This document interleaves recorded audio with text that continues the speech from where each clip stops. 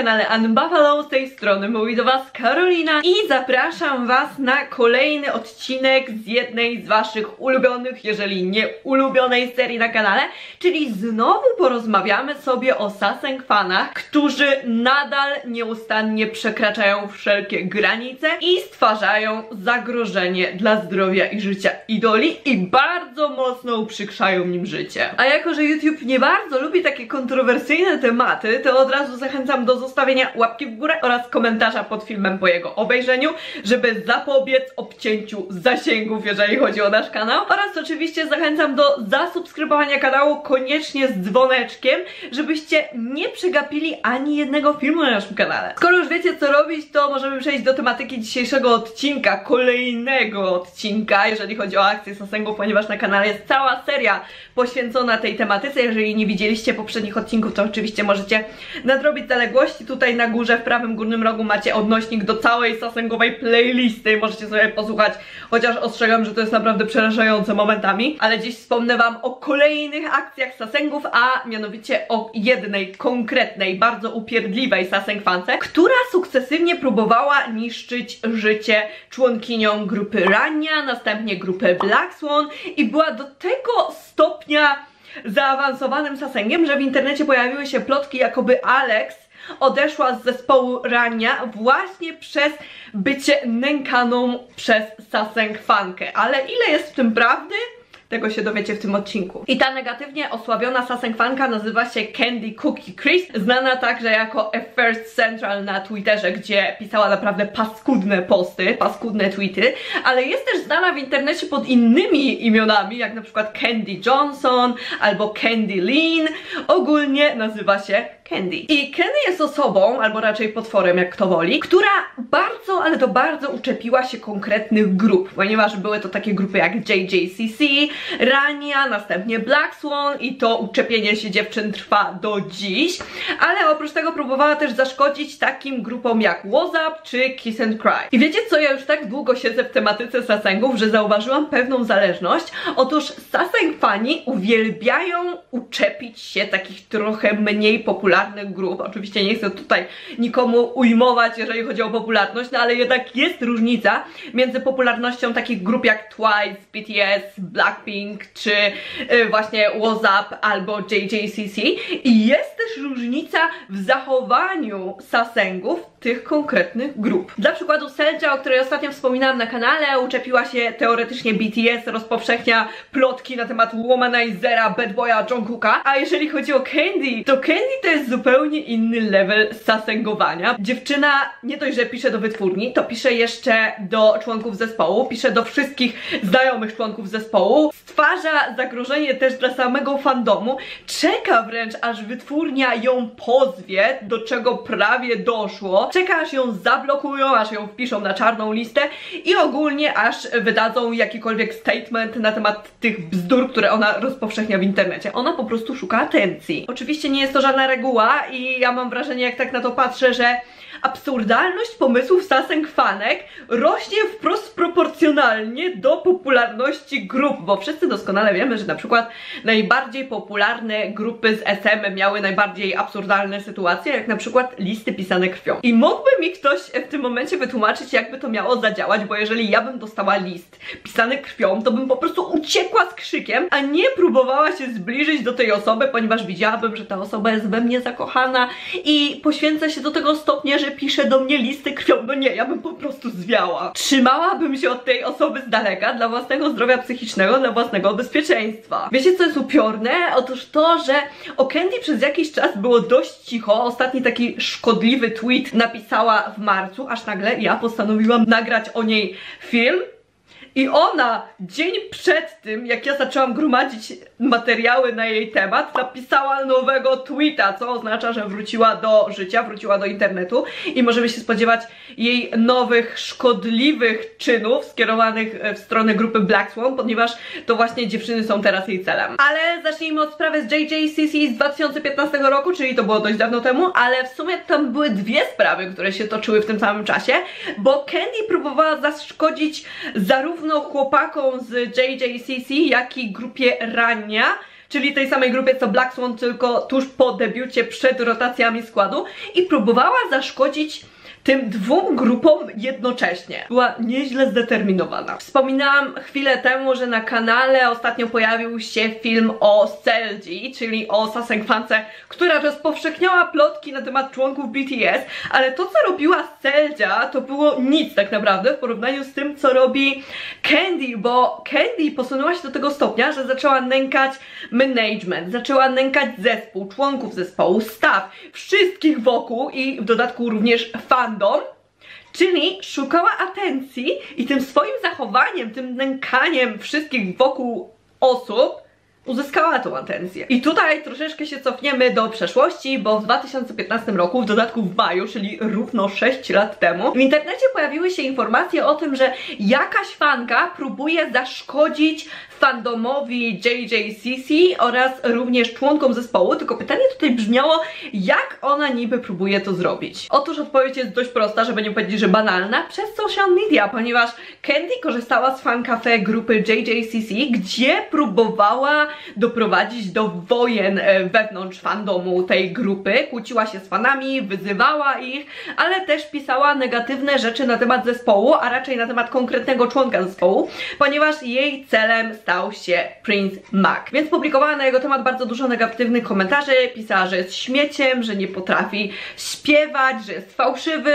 W międzyczasie też mówiła, że inny członek zespołu Eddie jest cudowny, że potrafi docenić swoich fanów, że docenia to co ma, czego nie można powiedzieć o Prince Macu. To dziwnie brzmi jak to odmieniam.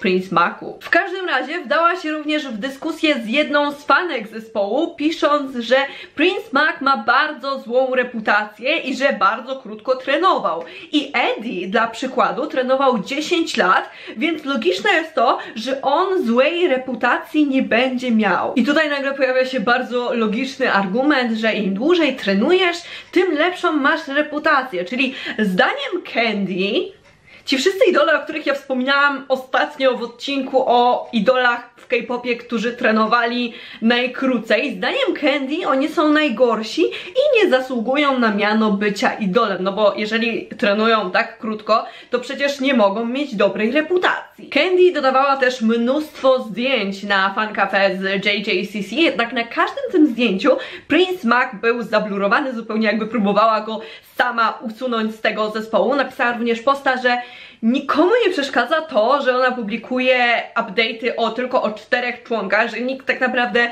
nie zauważył, że usuwa z nich Prince Maka, tak jak powinno to mieć miejsce, ponieważ powinien zostać usunięty nie tylko z zespołu, ale w ogóle ze wszelkich update'ów. Dalej w tym samym poście znowu chwaliła Ediego, mówiąc, że docenia swoich fanów, natomiast Prince Mac uważa się za nie wiadomo kogo i po tym jak go zreportowała, to podobno jedynie śmiał się i mówił, że wie kim ona jest. Czego oczywiście nie można powiedzieć o Edim, ponieważ Eddie jest idealny, perfekcyjny i jest po prostu wzorcem idola. Oczywiście ja nic nie mam ani do jednego, ani do drugiego, aczkolwiek ta sytuacja była naprawdę dziwna, bo jej wszelkie posty dotyczyły tak naprawdę tylko tych dwóch członków. Moim zdaniem tu jest coś nie tak i dla mnie osobiście to wyglądało jak takie typowe zachowanie fanki, która próbowała zwrócić na siebie uwagę Opy, jednak coś nie wyszło, on nie był zainteresowany, prawdopodobnie też bał się Saseng Fanki,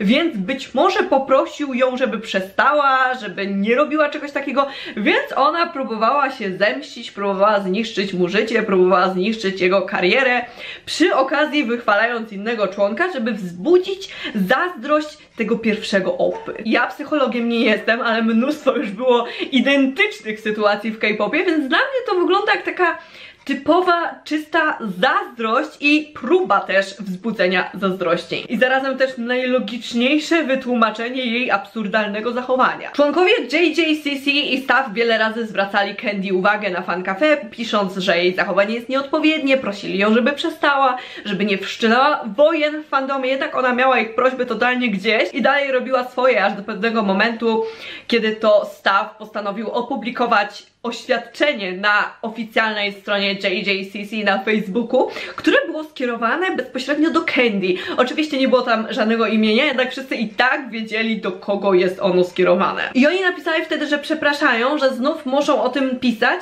jednak to znowu się stało. Napisali, że Candy ponownie złamała zasady, że wiele osób zwracało jej uwagę, by tego nie robiła, jednak ona nadal te wszystkie uwagi ignorowała łamała zasady fancafe, więc została zablokowana. Dodali też, że ostrzegli ją, że za łamanie zasad może zostać wyrzucona z grupy bez ostrzeżenia, że nawet Eddie poprosił, by przestała walczyć z innymi, ale to nie pomogło i nadal wyzywała fanów, publikowała zdjęcia blurując jednego z członków, pisała rzeczy, które nie były prawdziwe a jedynie oczerniały innych. Mało tego, dodali też, że posunęła się do tego stopnia, że napisała do jednego z członków narzekając na tę sytuację, co jest niedopuszczalne, więc dają jej ostatnie ostrzeżenie, a kolejnym krokiem będzie pozew sądowy. Od razu pod tym postem pojawiły się komentarze, żeby w końcu złożyli ten pozew, bo tak naprawdę to nie pomoże i już wcześniej był final warning dla Candy i faktycznie to nie pomogło, ona nadal robiła swoje.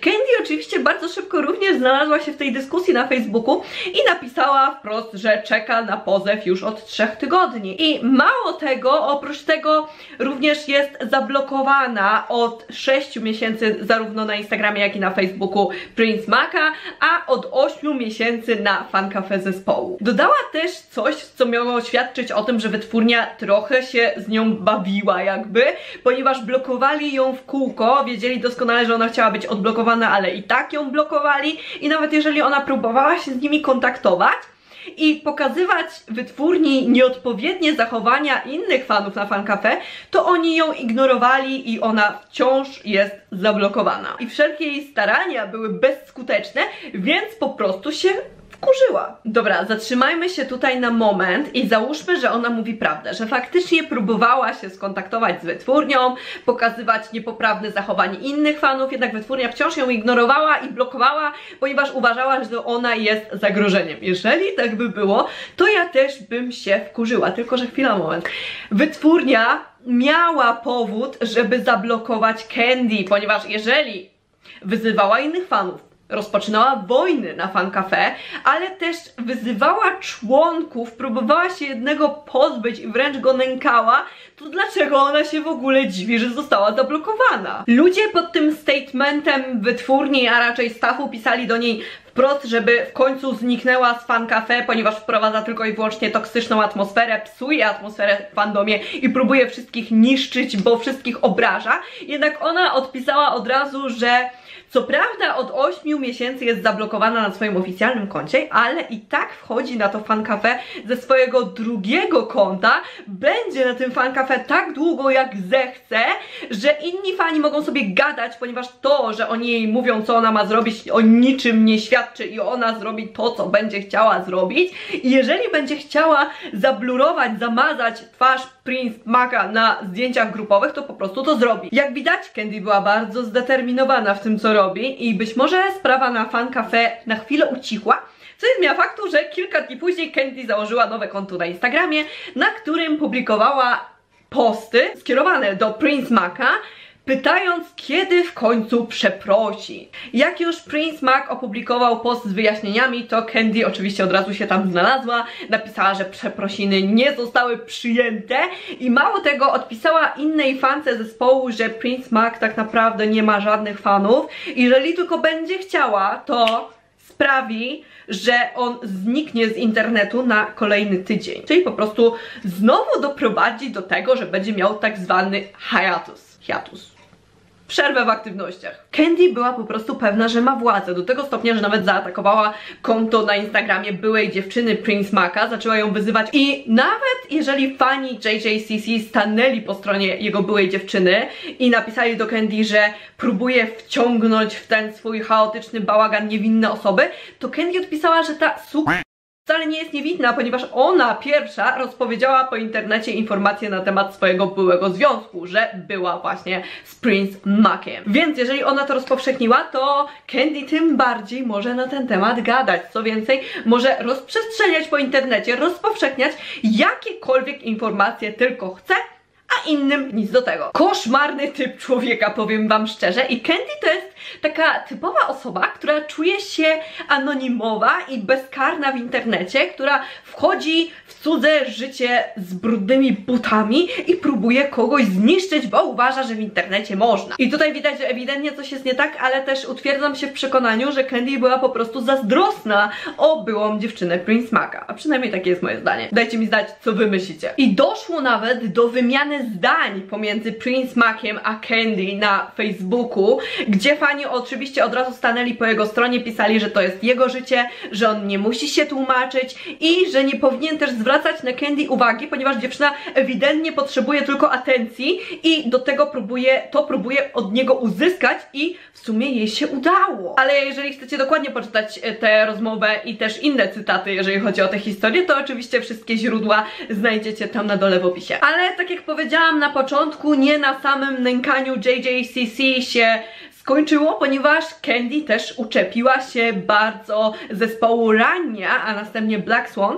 I natrafiłam w internecie na wypowiedź fanki, która napisała, że Candy śledziła Rania właściwie od samego debiutu. I na początku rozpowiedziała plotki, jakoby Joey była w ciąży z producentem i tutaj padł argument stulecia, że producent nazwał ją dziecinną. Do tego udało jej się zmusić wytwórnię do ujawnienia nowej piosenki grupy przed comebackiem, oczywiście zrujnowała ich comeback. Mówiła o nękaniu członkiń, gdy nie zwracały na nią uwagi też bym nie zwracała, a raczej bym próbowała przed nią uciekać. Potem zaczęła wprowadzać w życie swój plan pozbycia się zespołu członkiń, których nie lubiła, czyli tutaj na przykład Alex.